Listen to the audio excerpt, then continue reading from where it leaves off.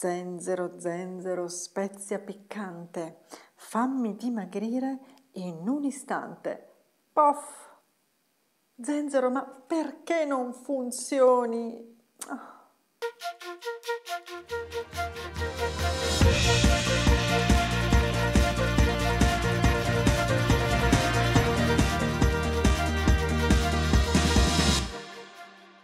Recentemente mi ha scritto una ragazza di Udine, Nicoletta, chiedendomi di parlare dello zenzero. Ne ho fatto un video che potete trovare qui.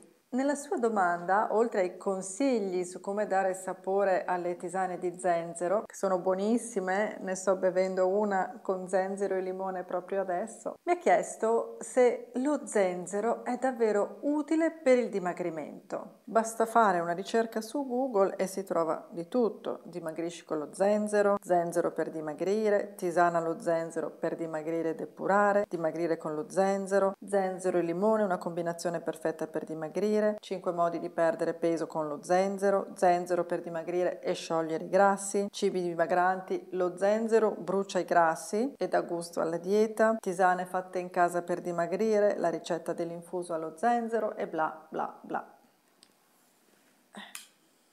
Per non parlare delle riviste dove si decantano le proprietà dimagranti dello zenzero, quasi fosse la nuova formula magica per perdere tutti i chili di troppo e soprattutto il grasso della pancia.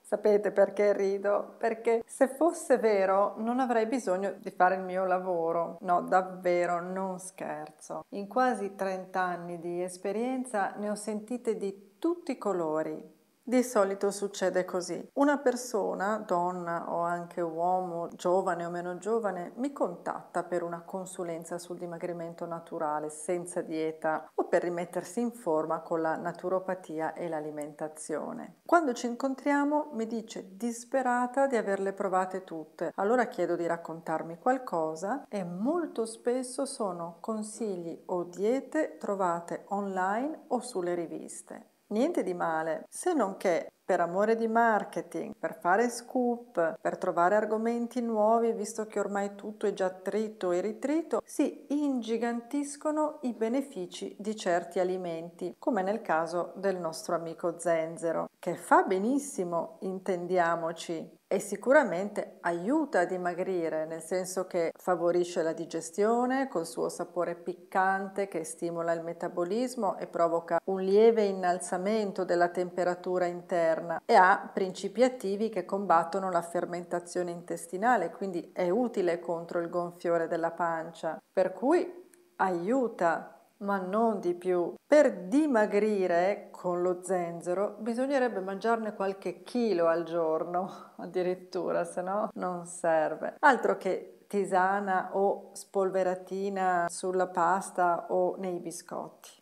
Io ogni volta che leggo o sento queste cose un po' rido e un po' mi arrabbio, come vedete in questo video sulla pancia gonfia, un altro argomento su cui se ne dicono di tutti i colori. Rido perché sono delle assurdità ridicole e mi arrabbio perché tanta gente come Nicoletta crede in buona fede a queste trovate e prova a seguirle convinto che otterrà dei risultati. Se poi i risultati non arrivano, si dispera pensando che uno, le cure naturali non funzionino e non è così. Due, peggio ancora, che il suo problema non abbia soluzione, quindi tanto vale rinunciare e mangiare di tutto e di più. E questo mi fa molto arrabbiare perché in tanti anni di esperienza non ho mai detto non si può fare, non si può raggiungere questo risultato, ma sempre vediamo come puoi risolvere la tua situazione. Il nostro corpo è incredibile, riesce a fare cose meravigliose, anche dimagrire e tanto se lo si ascolta e lo si guida nel modo giusto, di certo non bevendo tisane o con una pillolina magica di zenzero.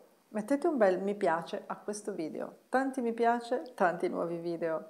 E come sempre raccontatemi le vostre esperienze nei commenti qui sotto e aiutate anche i vostri amici a sfatare questi falsi miti sul dimagrimento. Condividete questo video con loro e sui vostri social. E mi raccomando, se volete dimagrire in modo naturale, guardate tutti questi video. e andate sul mio sito al link scritto nell'info box qui sotto e iscrivetevi al canale, naturalmente. Ciao.